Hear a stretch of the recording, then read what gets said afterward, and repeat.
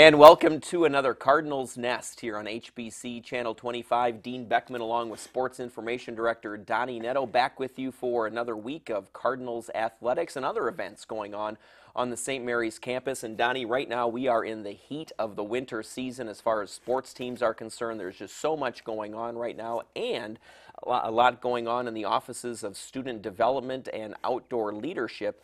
And we'll have uh, Chris Kendall on. He's the Vice President for Student Development, and Gary Borash, who's the Director of Outdoor Leadership he'll be joining us a little bit later on the interview program as well. Yeah, it'd be nice to have Chris on. We can talk about the uh, upcoming SMU 10K uh, event that's uh, that's happening, along with some other things that are going on with outdoor leadership. And then maybe if we have time, we can ask Chris about his chickens. You know, he is a chicken farmer now, and uh, you know his the eggs are delicious, and uh, you know between the chickens and the bees and all the outdoor leadership, I think Chris has got a lot of stories he can yeah, tell us. He, he can even pen a song about it because right. he's well known for that as well. So we'll have uh, Chris and Gary on the program a little bit later to tell us about what's going on in their offices. But first, Donny, uh, really the conference season is really starting to kick into high gear now for all of the winter sports teams.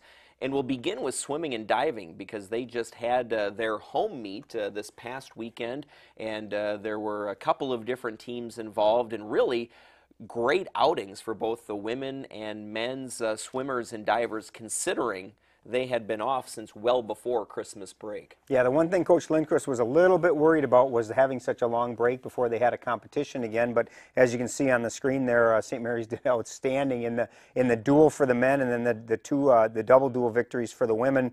Uh, on the guys' side, Mark Ross, who uh, we talked a lot about last year at the end of the year at the MIAC Championships, had a great uh, a great duel against Hamline, and then and then Liz Flynn and Abby, Abby Kratzky did a great job uh, uh, for the women. It was a really good, solid meet for them, and you know it's their first home meet, and, and I know Coach Lindquist was excited about that, being able to compete in front of their home their home crowd, and and obviously uh, that certainly spurred on the uh, the Cardinals to do a, a, really nice job. And it was you know one of those meets that they don't get very many of where they have them at home, and so for them to, to be home and to be able to have a good, solid meet was was a, a, a, double a double bonus for for Coach yeah. Lindquist.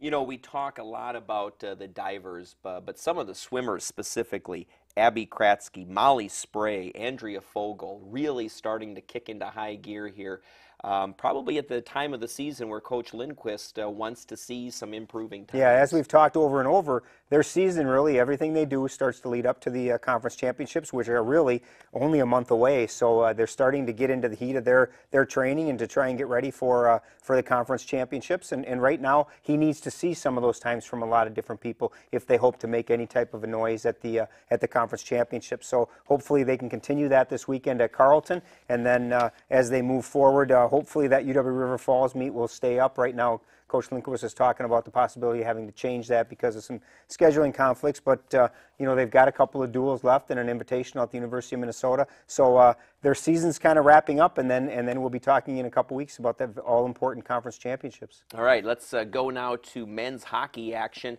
They are back into conference play now. Donny, they were taking on St. Olaf last weekend, and uh, a terrific shutout performance on Friday night in Winona for the home crowd. And even though the students weren't back yet, there was a nice uh, crowd from the community on hand to watch uh, the Cardinals win that one, two to nothing. Jason Horseman did an outstanding job, but I thought even more impressive than that is the Cardinals really controlled that game offensively. Didn't give St. Olaf a, a, ton of opportunities offensively. Absolutely, and as Coach Moore has always said, they they have a lot. St. Mary's has a lot of speed and a lot of quickness, and, and playing on the big rink is certainly a, an advantage to them when they're playing at home. And it was really one of those one of those uh, three three first equals one win for the Cardinals, and in that Nick Nagel and Andrew Ketterer both had their first collegiate goals. And as you said, Jason Horseman, 27 saves for his first collegiate shutout. It was a, a great team performance and really a dominating performance. They really did control that game from start to finish, and, and uh, it was nice to see them get a win for that. Unfortunately, when you talk about Saturday's rematch at, at St. Olaf, it wasn't quite the same outcome. St. Mary's jumped out to a 3-0 lead and wasn't able to hang on, and they lost 4-3. Really a heartbreaker in that St. Olaf scored their last goal with 27 seconds left in regulation. So it was one of those games that, you know, as Coach Moore says, one of those that very easily could have gone their way. They've got to learn how to win. A lot of young people, and they still have to learn what it takes to hold the lead in the third period and, and, and come away with a victory. Uh, hopefully, a, a really good learning experience for them. But for the for the two games, it was an outstanding performance all the way around. And Donny, you were at that Saturday game in Northfield.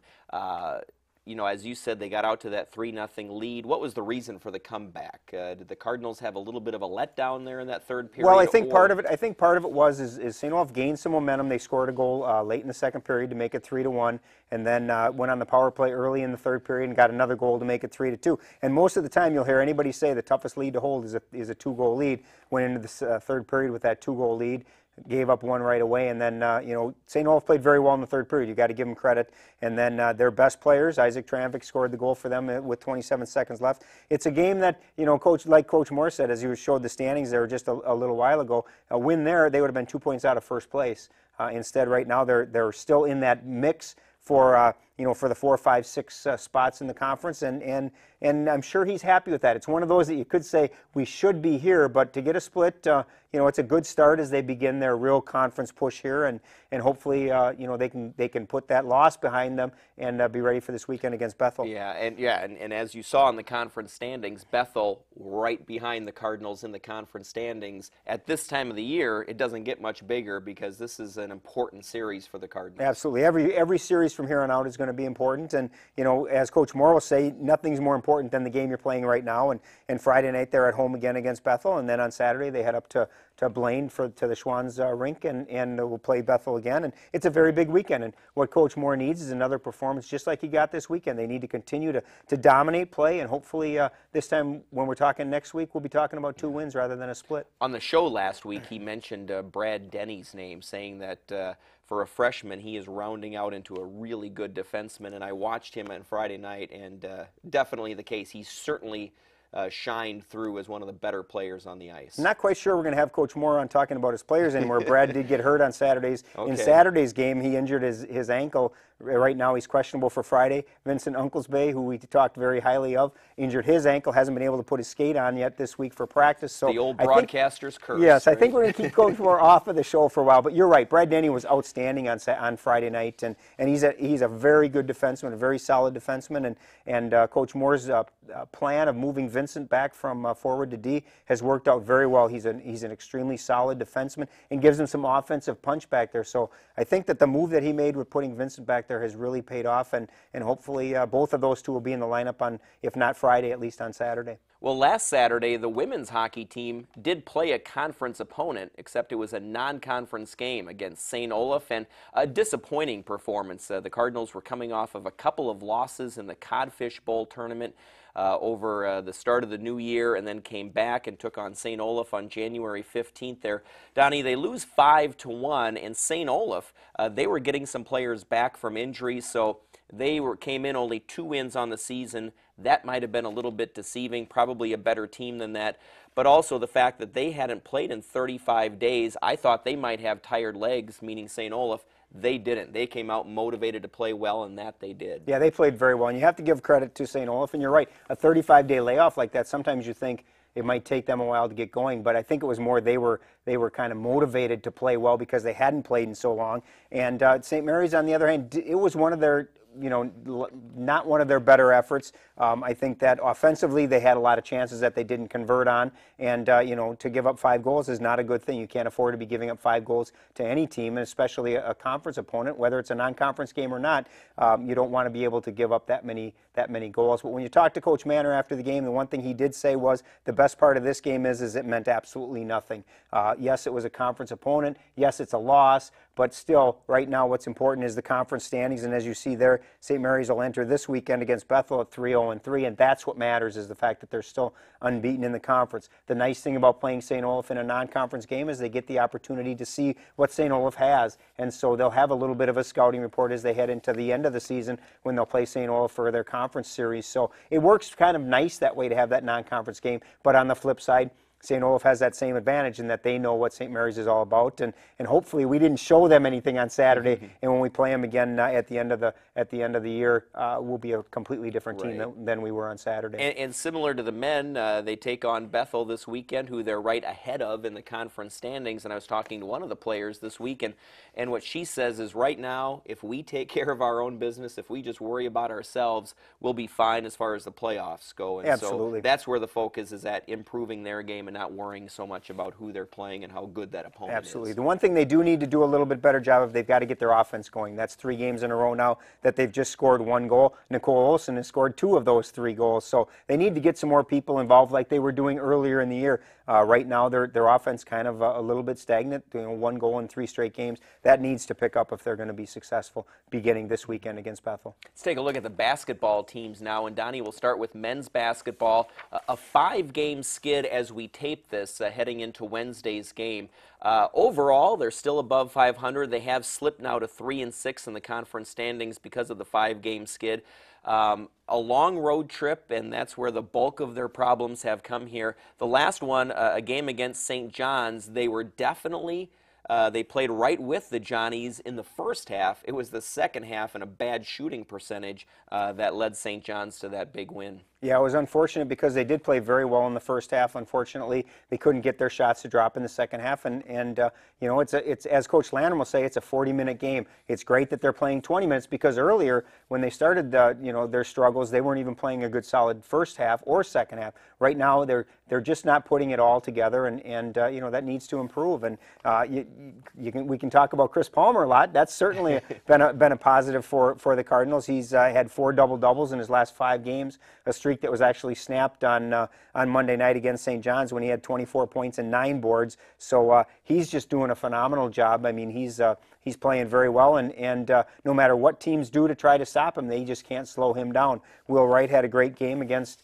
Uh, against St. John's with 19 points. It was good to see him get back. He had a couple games there where he was under uh, 10 points a, a, game, and that's not like uh, the Will Wright that we know. So it was good to see him get his shooting touch back, and, and hopefully that'll continue. And and and uh, the two of them, along with Lucas and Pat Freeman and Michael Burfine, they can all get it all together and put it together and, and uh, get things back on the right track. Yeah, coming up on Saturday, it's a women's and men's doubleheader against Gustavus, and the women's game will be at three o'clock right here on Channel 25 HBC, and then uh, they're at Bethel next week. So uh, you know, still have some road games coming up uh, despite the recent long road trip, but that game against Gustavus uh, in a way, it kind of becomes a must-win for the Cardinals. Yeah, it'll be the first time that they've seen Gustavus. Now they play Wednesday. Uh, you know, as we're taping, they play Wednesday against Augsburg. The second time they've seen Augsburg, so they're kind of starting the second uh, rotation of the conference schedule, except for Gustavus, a team they haven't played, and, and a team that St. Mary's broke a long, lengthy streak, uh, losing streak against last year. So I'm sure that uh, Gustavus will be ready for us, and, and uh,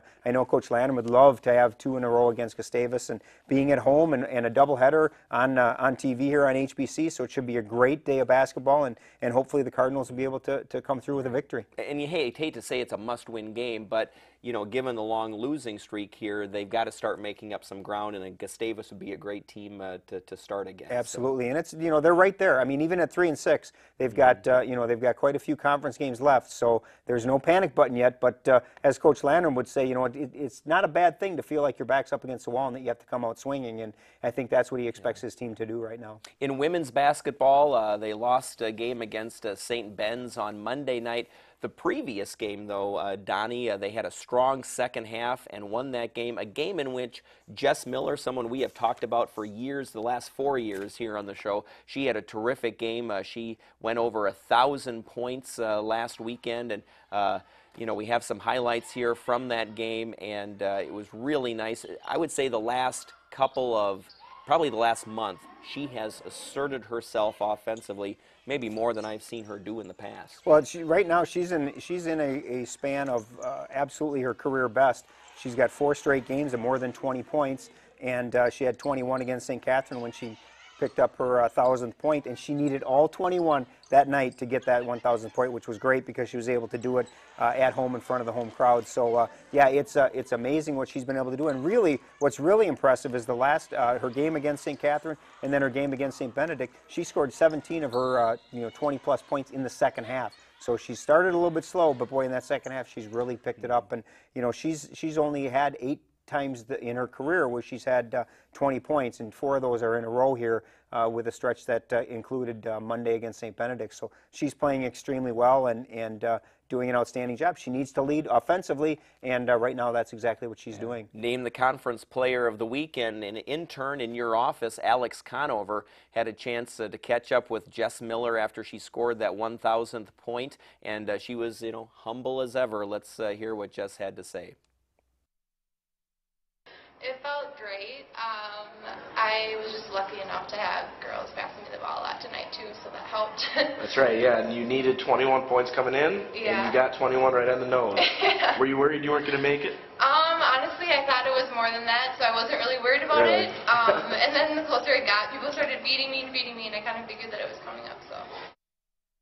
Donny, as uh, we look now from a team perspective, you know they're still okay. They're five and five in conference play. They are seven and six overall. And uh, this weekend uh, they have, of course, uh, Augsburg on Wednesday, and then Gustavus in that uh, women's men's doubleheader at uh, one o'clock. They'll Yeah, play. and as we talk, we've played Gust- Augsburg already and beaten them. So uh, hopefully we'll be going into that August or that uh, Gustavus game on Saturday, you know, with a six and five record. And Gustavus is, as you look at standings, Gustavus is one of those teams that's just above St. Mary's in the standings. Be a great way to uh, really end the uh, the first round of conference play is to get a to get a win over uh, number five Gustavus, and and uh, you know hopefully that would really be a big boost as we uh, start the second round and, and really start talking about playoff runs and, and pushes to get into uh, into the conference playoffs. All right, so Mandy Pearson has the team playing well. Uh, just a few different things to get over, mostly from a shooting perspective. And finally, Donny, in track and field, the spring season, the indoor season, has started for track and field, and uh, they took uh, some action in the Minnesota Open last week. Yeah, Andrew Brigham. We've talked about him a lot last year.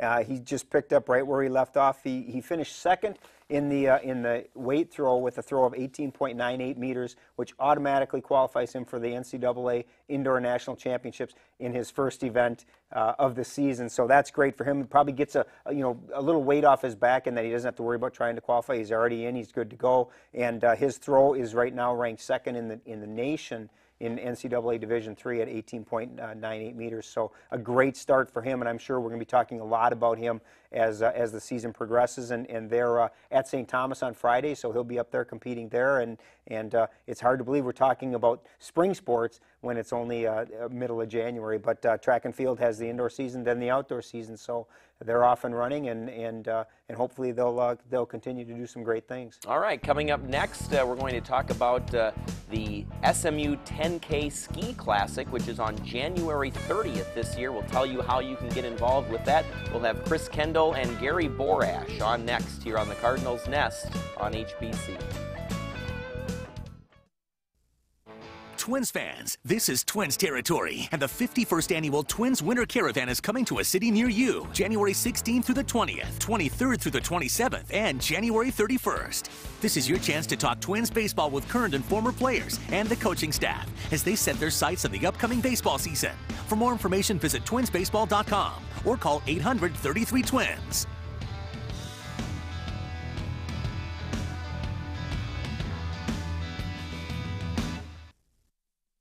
Thanks for watching the Cardinals Nest here on HBC Channel 25. Dean Beckman along with Donny Nadeau. Joined now by Gary Borash. Gary is the uh, outdoor uh, leadership office director, and Chris Kendall, the uh, vice president for student development at St. Mary's. Uh, thanks for joining us, uh, Gary and Chris. And Chris, we're going to start with you because uh, on January 30th, coming up in just a couple of weekends here, we have the St. Mary's, the annual uh, 10K Ski Classic, and this year it's bigger and better than ever. Some new uh, new things going on with the 10K Classic. Yeah, really. We uh, this is our seventh year hosting the race. Typically, it's been one race, a 10K classic race, where the skiers ski uh, in in uh, the tracks, and uh, we had people requesting we do a skate race as well. So this year we did schedule a classic race at 10 o'clock Sunday morning and a skate race at 1 o'clock. And then fortunately, uh, the Winona Ski Club in St. Mary's have got a nice partnership going. And on Thursday nights, they've got a youth ski league um, that's been very successful. Actually, 75 young young skiers have been showing up. So we've added a third race at 11 o'clock on Sunday for uh, uh, young people 4 to 12 years old. So really, we're going from one to three. So we're uh, we're blossoming.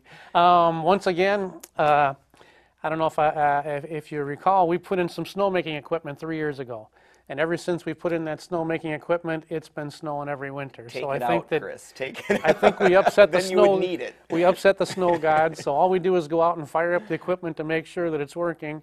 And lo and behold, uh, we get a fall blizzard, and we've been Right. enjoying good skiing all year. Yeah, and uh, you know, you- we uh, if, uh, if you would like to participate in the 10K ski race, so you are asked to pre-register if possible, or there is registration uh, the day of the event too. Yeah, if you go to our website, to the uh, athletic website, there's an icon right there where you can download a registration form and uh, mail that in, or you can just arrive uh, uh, Sunday morning. There's the times up there, and uh, Gary and his crew will be able to register you that day. Okay. Chris, talk a little bit about you were kind of the brainchild of this seven years ago. Talk a little bit about what kind of spurred this this on, and you know now, like you say, seven years later, we're we're just continuing to grow. Well, Donny, you know, we, we used to have a, a collegiate ski team uh, for years and a kind of a combination of other conference members. Uh, had some difficulty putting teams together. We did go through kind of a drought of snow, uh, and actually the conference had dropped Nordic skiing as a, uh, a championship competitive sport. But since we have the beautiful trails up there in St. Mary's, we wanted to keep things going. So we did start a citizens race um, to again to make sure we've got access and uh, to get people out in the wintertime and that's kind of how it began in the first place yep All right, uh, Gary Borash, you're with us as well, and uh, your first time on the Cardinals Nest, Gary, and uh, you are the new director for the Outdoor Leadership Office at St. Mary's, and uh, what some people may not know is you're also an alum of the university. Uh, so tell us a little bit about yourself and how you landed as uh, director of the Outdoor Leadership Office. Yeah, sure. Um, well, I, I graduated in May, um, this past May, from St. Mary's with an environmental biology degree. And I had worked some with outdoor leadership, um, leading some trips, and as a ropes course facilitator. And so um, I was kind of looking to see if I could, you know, get back into the university in, in that kind of a position. And I ended up taking an internship in Arizona for the summer, and then through October, um, but then the spot opened up. The previous outdoor leadership coordinator, Davey Warner, um, ended up leaving, and so they had an opening, and um, I applied, and, and here I am. I Well, guess. and So- Chris, for you, perfect timing. You get somebody who knows the university, clearly knows and loves the outdoors. absolutely Which is absolutely and, and our outdoor leadership office isn't just about i mean it's, you go out and have fun but there is an educational component to it and again gary's background in environmental biology our partnership with a group called leave no trace uh, talks about recreational ethics and things like that. It's a perfect fit for us. And like like Gary had mentioned, he's already a ropes course facilitator. You're talking about the swim team success uh, on Wednesday of last week. Prior to that meet, uh, Gary and I were out to the, our farm with the swim team on an hour and a half snowshoe and uh, cooking some hot dogs on the fire. So, uh, so Gary brings a lot of skills, and uh, we're really excited to have him working Well, with us. Gary, right now here in the winter months, of course, you have the ski classic coming up. What else are some of the other activities your office is sort of sponsoring or at least getting ready for? Okay. Um, well, over the last couple days of break, we just had um, seven students participate in a winter camping trip. Um, we ended up going to the state forest, um, just a little ways north of campus, and um, doing some hiking on snowshoes and setting up camp, camping for the night, and doing some more hiking, coming back. Now, hopefully, you beat the really bitterly cold temperatures anyway. Yeah, yeah, we got by. Everybody had fun. No frostbite or anything. Good, Um, so then, besides the skiing and then that winter camping, we're organizing. Actually, we have another skiing activity planned for this week. Uh, moonlight skiing. There's a full moon on Thursday night, and so um, one of the students at St. Mary's, Cullen Gibbons, is leading a group to go skiing by moonlight, and then um, we'll have some snowshoeing uh, hikes coming up probably next week or the week after, and I have sleds that I've actually had a couple groups ask to borrow in the near future, and so um, lots of opportunities there too. Donny, moonlight skiing. You ought to ask uh, Dee Dee if it sounds romantic. No, I'm thinking the snowshoe, the snowshoeing part is good, but the skiing we'll stay away from the skiing. Yeah, I know you've gotten into the Absolutely. snowshoeing. Gary, talk a little bit about the ropes course. Obviously, it's not something in the winter months that we, we utilize a lot, but talk a little bit about the ropes course because it is kind of a, a kind of a neat niche that we do have at St. Mary's. Yeah. Okay. Um, well, the ropes course is um, basically it's it's whatever you want to make it. Really, we can have we have a lot of flexibility with programs we can do on the ropes course, and a lot of people don't know, but it actually can be used year round. Um, only extreme weather would keep us from from going out there, like a thunderstorm or something. Um, we were actually out there last January with a, a class from St. Mary's, and they had a lot of fun. Um, but some of the things we can do are we have a lot of um, team building and like problem solving games and other activities that we can do with groups.